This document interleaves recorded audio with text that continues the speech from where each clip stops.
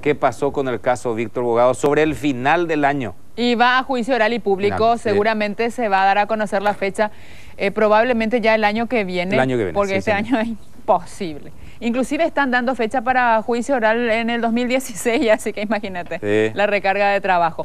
El senador colorado Víctor Bogado deberá enfrentar juicio oral y público por el caso Niñera de Oro. La Fiscalía acusó al legislador por cobro indebido de honorarios y estafa.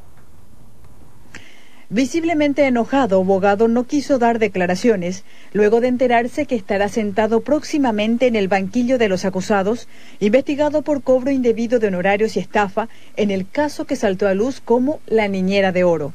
También enfrentará juicio oral Gabriela Quintana, quien supuestamente el parlamentario colocó en la Cámara de Diputados e Itaipú, y el jefe de gabinete Miguel Ángel Pérez.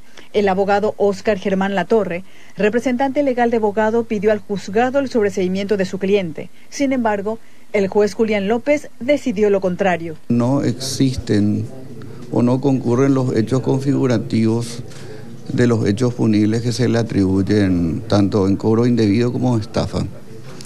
En el cobro indebido porque la supuesta eh, autora, que sería Gabriela Quintana, no tenía condición o calidad de funcionaria pública como contratada de Itaipú.